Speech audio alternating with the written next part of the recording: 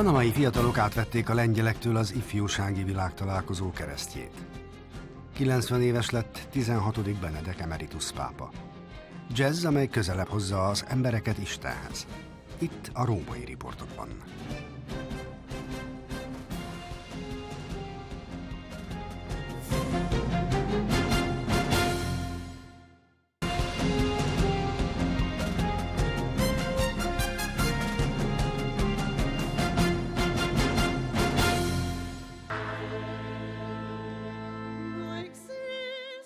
A Virágvasárnapi Szent Mise keretében a lengyel fiatalok átadták az ifjúsági világtalálkozó keresztjét a panamai fiataloknak.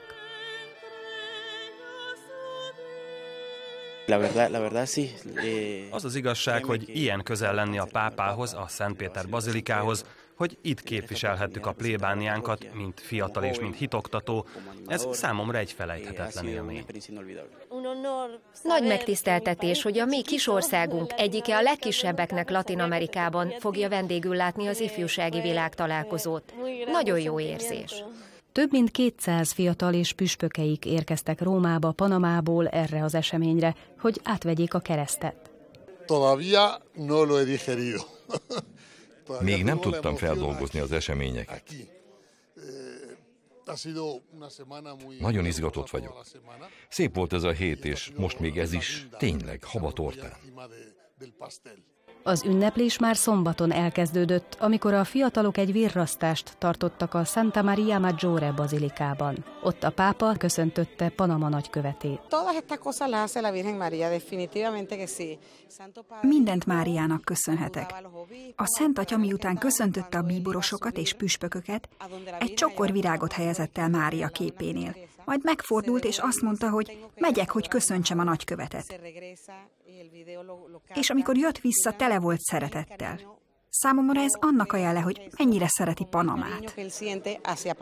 Az egyházfő arra kérte Panama fiataljait és püspökeit, hogy készítsenek elő valami nagyon konkrétat. Azt mondta nekünk, bátorság, csak így tovább, előre. Megéri az összes fáradtságotokat. Panama, ez a közép-amerikai kis ország lesz a 2019-es ifjúsági világtalálkozó helyszíne.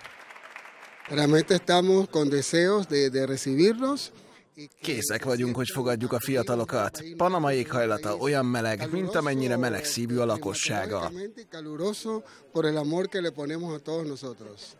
És ebből a meleg szeretetből egy kicsit meg is mutattak itt a Szentpéter téren a lelkesedésükkel és ezzel a visszaszámlálás is elkezdődött a 2019-es ifjúsági világtalálkozóra.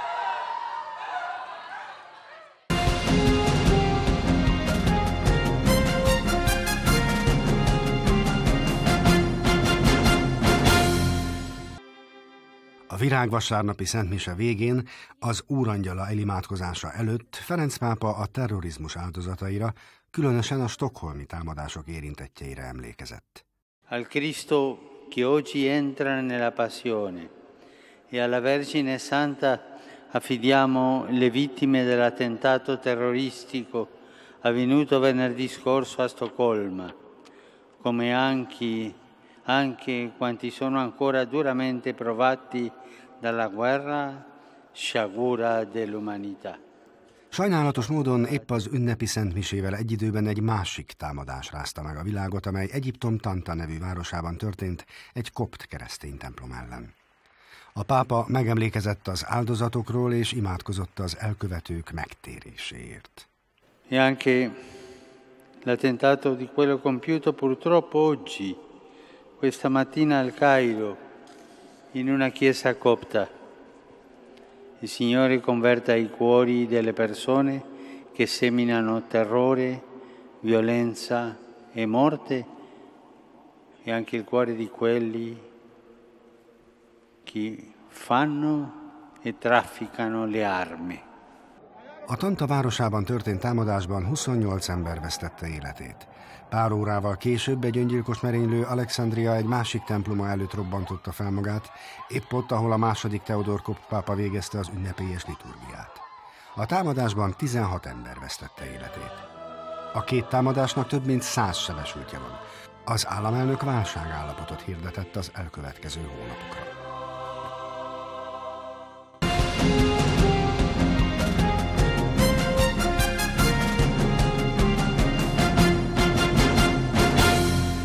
Ferenc pápa a 2019-es ifjúsági világtalálkozónak otthont adó Panama fiataljai egy csoportjával találkozott a római Santa Maria Maggiore bazilikában. Emlékeztetett azokra a szavaira, amelyekkel a Krakóba zarándokolt fiatalokat biztatta a bátorságról és a teljes életről. Io detto due cose.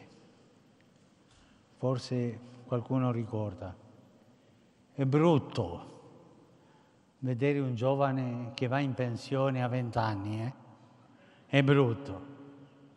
E anche è brutto vedere un giovane che vive sul divano. Eh? Né giovani in pensione né giovani di divano. Giovani che camminino, giovani di strada, giovani che vadano avanti uno accanto all'altro, ma guardando il futuro. I giovani sono i protagonisti, ma anche i giovani che si sentono agnostici, sì. Anche i giovani che hanno la fede tiepida, sì. Anche i giovani allontanati dalla Chiesa, sì. Ogni giovane ha qualcosa di dire agli altri ha qualcosa di dire agli, agli, adulti, ha qualcosa di dire ai preti, alle suore, ai vescovi e al Papa. Tutti abbiamo bisogno di sentire voi. Két tanúságtétel is elhangzott. Az egyik egy szerzetes nőtől, aki a bérmálása utáni egyháztól való eltávolodásáról vallott, valamint egy 23 éves fiataltól, aki egy 2002-es földrengés során a romok alá temetve lebénult. dopo lo sconforto ho capito che dovevo reagire, che dovevo considerarmi fortunato per il fatto di essere vivo, che dovevo vivere anche per chi non poteva più farlo. Ferenc pápa jegyzetelt a tanúságtételek alatt, és arra bátorította a fiatalokat, hogy találják meg életükben a küldetést. Cari giovani, siate coraggiosi. Ma padre, io sono peccato, tante volte cado. Ma mi viene in mente una canzone alpina bellissima che cantano gli alpini. Gli alpini. Nell'arte di salire l'importante non è non cadere, ma non rimanere caduti. Avanti, cadi, alzati, vai avanti. Ennek a reménynek és jövőbetekintésnek egyik legszebb példáját adta az afrikai zene és tánc, amelynek során virágot helyeztek el a Bazilika Mária kegyképe előtt.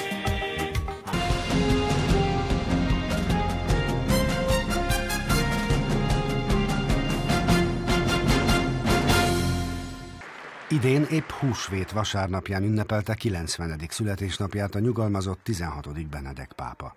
Születésnapi meglepetésként szolgált ez a könyv, amely a Cooperatores Veritatis, azaz az igazság együttműködője címet kapta, és amelyet korábbi Ratzinger díjasok állítottak össze. Si celebra in modo molto eh, ridotto Kiskörben szerényen fogunk ünnepelni. Húsvét hétfőn egy kis bajor hangulatú otthonos köszöntés lesz. Többet nem tudok mondani.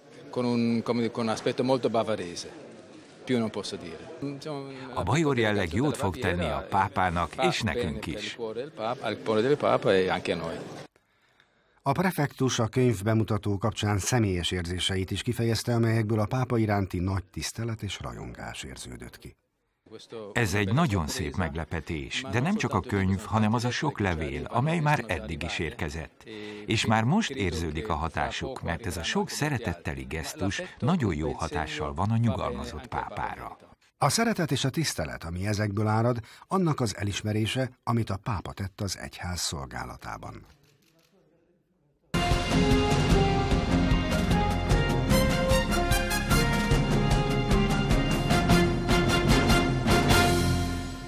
1937-ben 11. Pius az égető aggodalommal kezdetű német nyelven írt enciklikájában figyelmeztette a világot a közelgő veszélyre, és bírálta a fasizmust. A pápa megérezte, hogy egy újabb háború közeledik. A pápa tisztában volt azzal, hogy a náci ideológia egy új pogány ideológia, ami általánosságban nem az embereket szolgálta, hanem elsősorban az áriafaj tagjait. Sőt, kizárólag az áriafajt. Következésképpen a rasszizmus egy formája volt, ami az antiszemitizmusban nyilvánult meg. 11. Pius tudta, hogy az első világháborút lezáró trianoni békeszerződést a németek megalázónak tartják, ezért a bosszú gondolata érlelődött. Ráadásul egy új vezető bátorította is őket. Az Európára haragvó németeket olyan üzenettel ostromolta, ami kedves volt a fülüknek. Ezek a körülmények ma is ismerősek lehetnek számukra. Azt hiszem, hogy 11. Pius pápaságának meghatározó és lényeges eleme volt a világosság ami tanulságos lehet minden politikusnak. Tisztánlátással és hozzáértéssel előre felismerni azt, hogy amikor nincs bizalom a politikusok, a politikai rendszerek vagy intézmények iránt, akkor az utat nyithat egyfajta populizmusnak, ami demokratikus módon akár egy Hitlert is hatalomra emelhet. A zsidók mellett a katolikusokat is zaklatni és üldözni kezdték. 1935-ben a náci vezetés már megszegte az 1933-ban a Szentszék és a harmadik birodalom által aláírt konkordátum néhány passzusát. Hitler kezdte megmutatni igazi arcát. A német püspökök, akiket Eugenio Pacelli bíboros, a későbbi 12. Pius pápa támogatott, jelezték a veszélyt. 11. Pius Pacelli segítségével kézzel írta meg az enciklikát Rómában, amit aztán diplomáciai úton juttattak el Németországba. Az enciklika megjelenéséhez hasonló helyzettel találkozhattunk Hollandiában is a háború alatt. Ekkor elrendelték, hogy minden püspök ugyanabban az időben minden templomban olvasson fel egy levelet, amely leleplezi az üldözéseket. Válaszként ezreket öltek meg. Ez a zsarnokok gyengesége. De olyan gyengeség, ami nyomot hagy maga után. Olyan gyengeség, ami véres jelet hagy maga után. Mint annyi más alkalommal, a pápa szavai süket fülekre találtak, és senki sem tudta megállítani a náci rezsim gyilkos őrületét. A történelem szüntelenül arra tanít bennünket, hogy a jövőben ne ismételjük meg ugyanazokat a hibákat.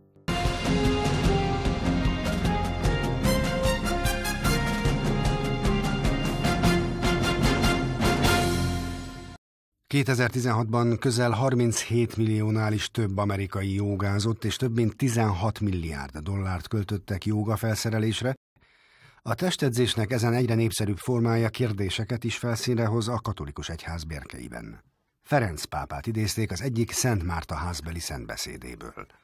Hallgathatsz ezernyi katekézis kurzust, ezernyi spirituális kurzust, ezernyi jóga és zen kurzust és mindenhez hasonlókat. Ezek egyike sem fogja megadni azonban az Isten gyermekség szabadságát. Azt mondta, hogy csak a Szentlélek adhatja meg azt a békét, amit sokan ezekben a meditációs formákban keresnek. Oggigiorni si parla molto della spiritualità Manapság sokan beszélnek nagyon különböző módon a lelkiségről. Sok ember nem érti meg igazán, mit is jelent a spiritualitás. Mindenkinek saját elképzelése van róla. Ezáltal egy lelkiséget önmagában szemlélnek, csak egy emberre vonatkozik. Valójában ez nem segíti a közösségi életet. A saját lelkiségüket önmagukban élik meg egyedül és mindenki a saját lelkiségét tartja helyesnek, az egyetlen igazinak. Singularmente, individualmente. A Pápai Gergely Egyetem Lelkiségi Intézetének igazgatója Vitveratya azzal folytatta, hogy a keresztény hit egy kapcsolat Jézus Krisztussal és ezáltal másokkal is. A lelkiségnek ez a formája a bizalom és a hit cselekedete, ami átlényegíti az élet minden részét és a mindennapok cselekedeteit. È necessario di vivere. Szükség van az életünkben egy megtestesített lelkiségre, egy megtestesített hitre. Az egyházban a testet is mindig fontosnak tartották. A spiritualitás nem csak a testi dolgokat jelenti. Például az egyházban nagyon fontos térdet hajtani, felállni vagy leülni. Mindegyik gesztusnak külön jelentése van. Mit csinálok a testemmel, hogyan kulcsolom imára a kezeimet, így vagy úgy, mindnek más jelentősége van. Ennél fogva, mondja, a jóga önmagában nem rossz, de a szándéknak motiválnia és segítenie kell az illető keresztény lelki életének fejlődését, mind Istennel, mind pedig másokkal való kapcsolatában. Ma eh, è molto importante Segíthet, de nagyon fontos látni, hogy ezek a gyakorlatok az eszközt jelentik, nem pedig a célt. Ezért azt kell választani, ami segít.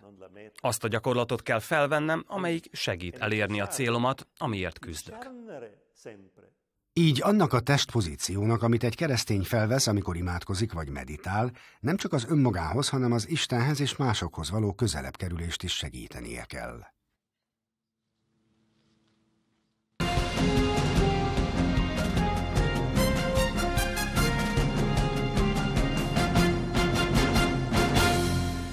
A legtöbb, amit tudunk Máriáról, azt a Bibliából tudjuk, attól a pillanattól kezdve, hogy hírül kapta, hogy hamarosan Isten szülő lesz. Történészek és teológusok azonban kíváncsian kutatják, mi történhetett mindez előtt, és miért van az, hogy ennyire fontos szerepet tölt be a keresztény hitben. Arra szeretnék emlékeztetni, hogy a názáreti Mária földi életében egy zsidó asszony volt, aki egy bizonyos hagyományban nőtt fel, és ennek van egy pontos történelmi kerete, és én ezt szerettem volna kutatni. Michael Hessemann azt szeretné bizonyítani a Názáreti Mária című könyvében, hogy a katolikus hit és a Biblia nem legenda vagy mitológia, hanem igaz történelmi tények és evidenciák állnak a rendelkezésünkre.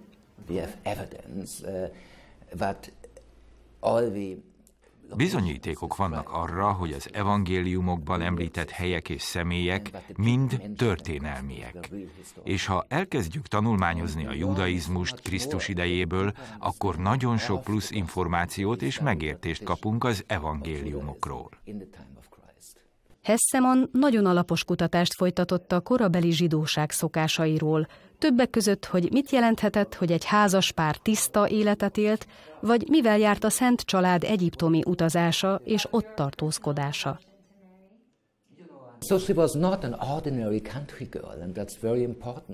Ahhoz, hogy Isten anyja lehessen, hogy a gondviselés erre a szerepre válassza ki őt, rendkívülinek kellett lennie, hogy felnevelhesse Krisztust. Sokat kellett őt tanítania. Biztos vagyok benne, hogy erre a feladatra egy nagyon különös nő lett kiválasztva.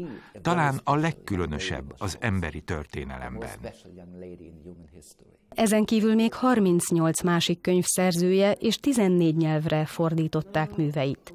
Ezek egyike az a bestseller is, amelyet 16. Benedek pápáról írt Georg Ratzingerrel együtt, és amelynek címe Testvérem, a pápa. turned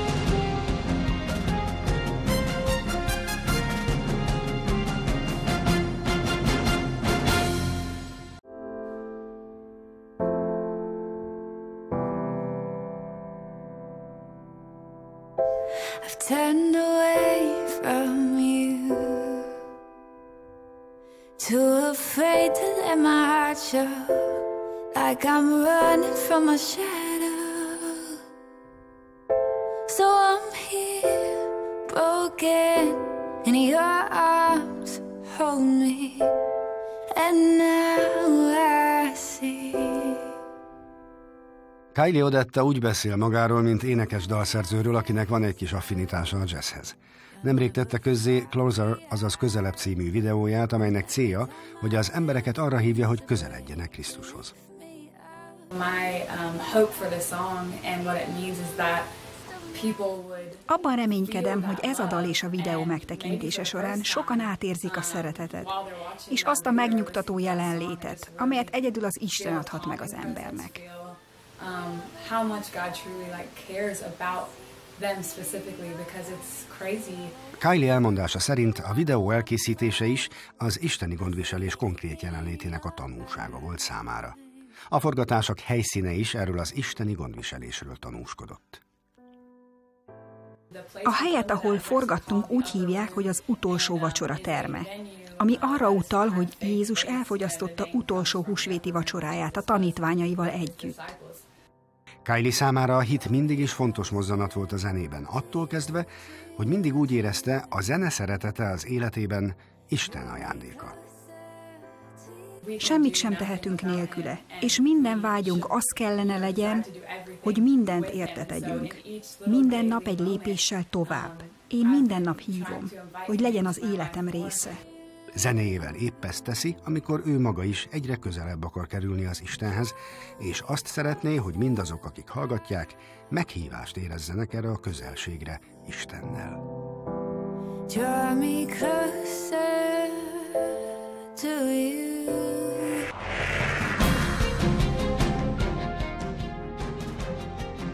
Következő adásunkban Ferenc pápa egyiptomi útjának tervezett programjairól számolunk be, itt a Római.